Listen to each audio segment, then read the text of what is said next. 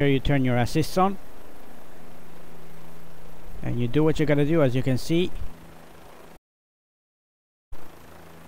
The Bell 407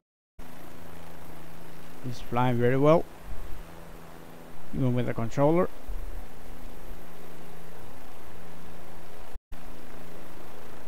Of course it's always gonna be better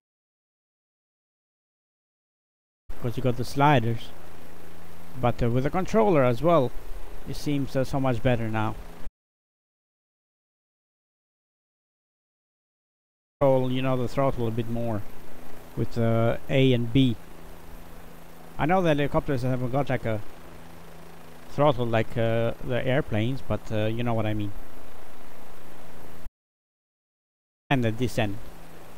That's what you call it I think on helicopters not the throttle. See seems pretty good. Pretty decent. Nice update. And finally some people that uh, had a few issues.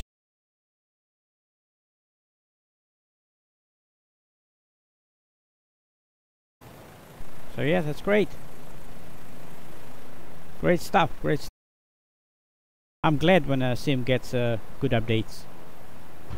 Pretty cool pretty cool just uh, you can uh, press A and B.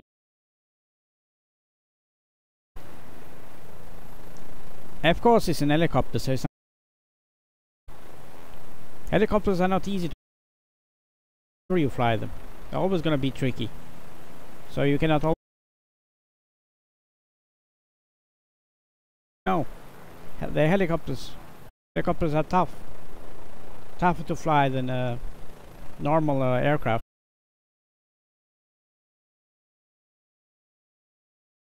to let you know. So yeah, thank you. Take care. Bye bye.